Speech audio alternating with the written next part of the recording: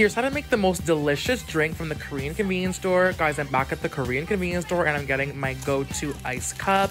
And I'm also getting this sweetened iced Americano and getting some banana milk. And I'm going to make a banana coffee today. I know, like, just hearing banana and coffee together sounds so gross, but I swear to God, this is like the most delicious combo.